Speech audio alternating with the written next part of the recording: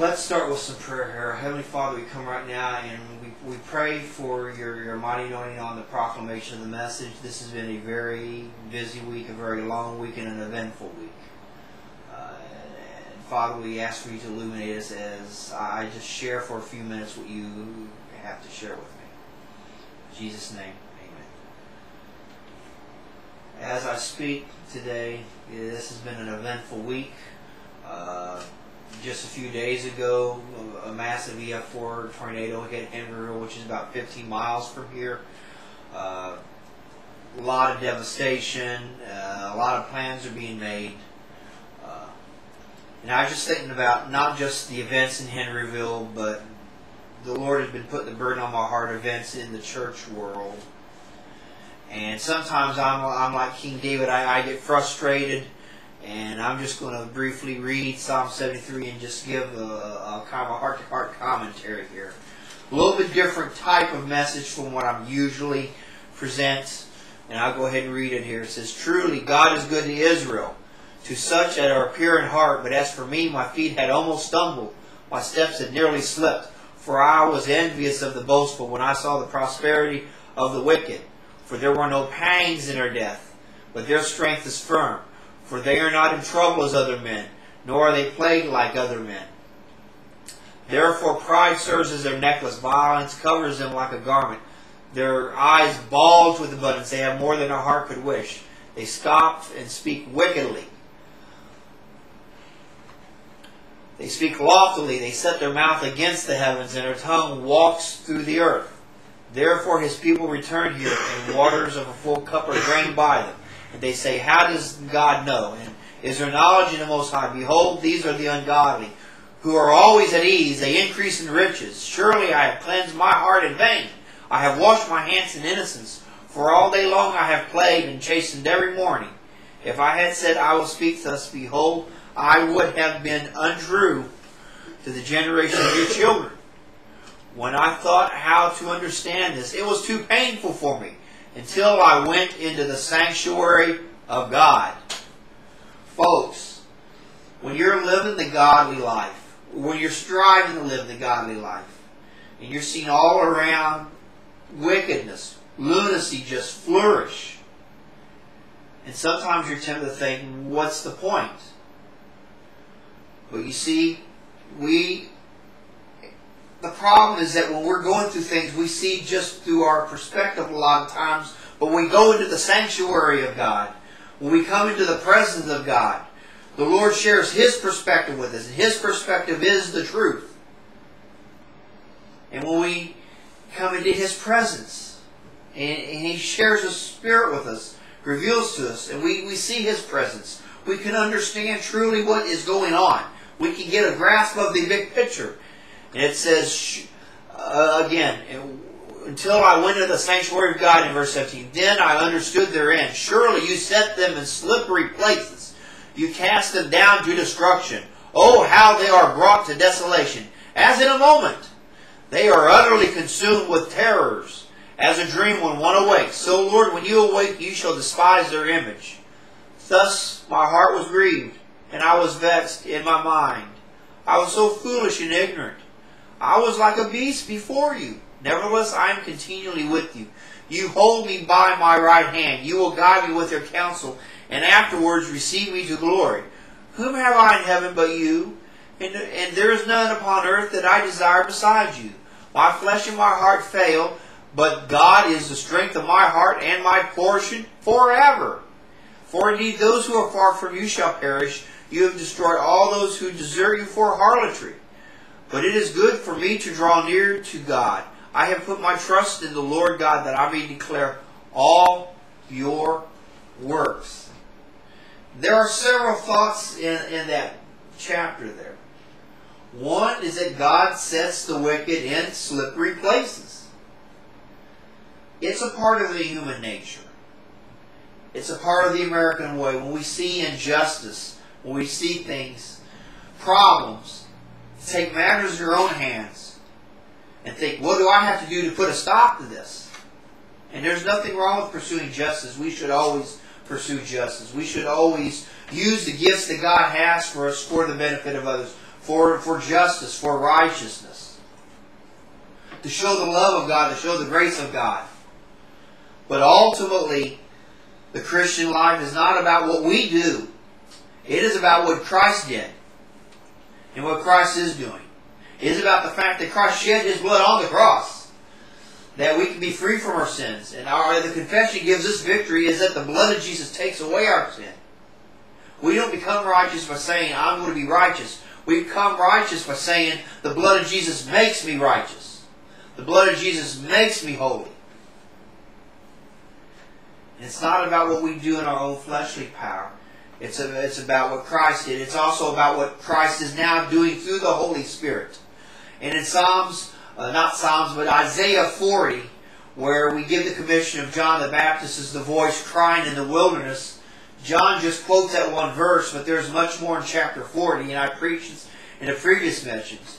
It talks about how the Holy Spirit is as wind, and as the wind blows on the grass, the grass withers, it fades away, but the, the man or woman who does the will of God lasts forever. Sometimes the best thing that we can do is endure. Seek God's hedge of protection. When that storm came, what did I do? I prayed for God's hedge of protection. He would protect my loved ones, my household, my stuff. And I said this as the wall clouds were coming in, not knowing whether the, the there was going to be an F4 or an F5 come straight towards my house or not. I didn't know God knew. It turns out as history unfolded, Henryville took a direct hit. Marysville took a direct hit. Uh, a small town in Jefferson County, Indiana called Chelsea, which is a few miles out of Madison, took a direct hit. And that hit was several deaths. Milton, Kentucky took a hit. There were other places in Kentucky that were hit by other tornadoes. There was a lot of suffering over this past week. But I trusted in the Lord. And this time the Lord is, was gracious to me, and I continue to trust that He'll be gracious, never taking for granted anything. It is God's goodness that keeps us safe. And it is God's goodness that calls on us to have a compassion view for those who got hit. But while we have that compassion view, you see, we're the ambassadors of God. And, it's a juggling act. On one side, we have to stand for God's righteousness. We have to speak that the judgment of God is alive and well. We are what Jesus called the beginning of sorrows. And part, and part of the beginning of sorrows, Jesus said there would be earthquakes in various places. There would be storms in various places, pestilence, diseases, all sorts of things. That they would increase in frequency. They would increase in intensity. The judgment of God is alive and well because God has a beef with the planet Earth.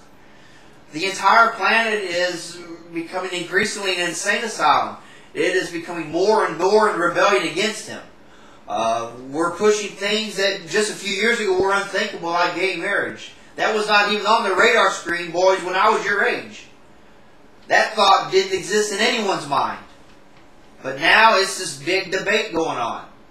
Uh, we're not only killing millions of unborn children, but we're we now have an administration bent on forcing people of conscience to pay for it against their own conscience.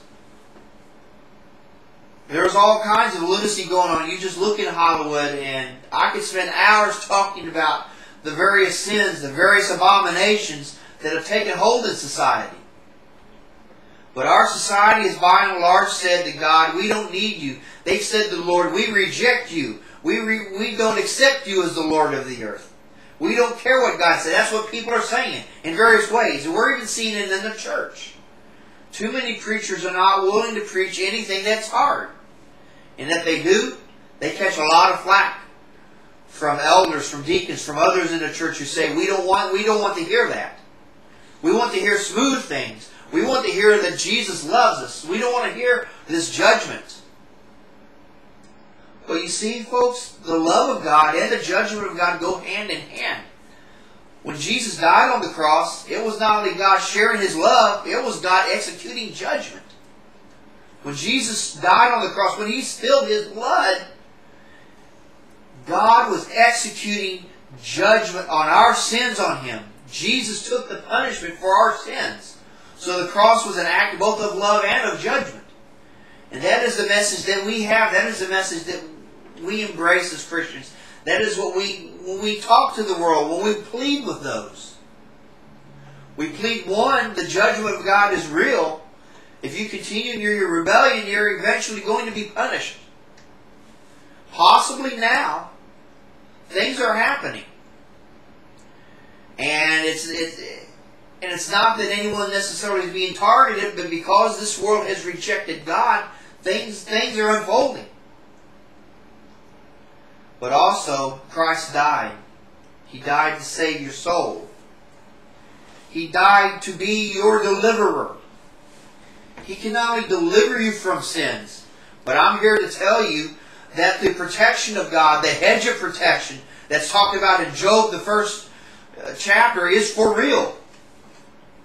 I have personally experienced the benefit of that. And if it wasn't for that offer, if it wasn't for that ministry of the Lord, I would be dead today. I would not be speaking to you today. It's possible that I would have died before I even fathered children. And wouldn't even have my sons here with, with me today to hear the message I'm speaking. Uh, my lovely wife Ann would, would never have met me because I would have been killed by something that came about. But because the hedge of protection was upon me, because God became my shield, out of His grace, not because I deserved it, but out of His grace, He made Himself available as my shield, as my hedge of protection. I am here to speak. I am here to testify. And so I urge all who hear this message over the internet or wherever it may go now is the acceptable time to seek the Lord. To seek Him as your deliverer. And if there is sin in your life, and ask God, is there any wicked way in me? Do you have a beef with me? Is there, a, is there an issue in my life that you have a problem with?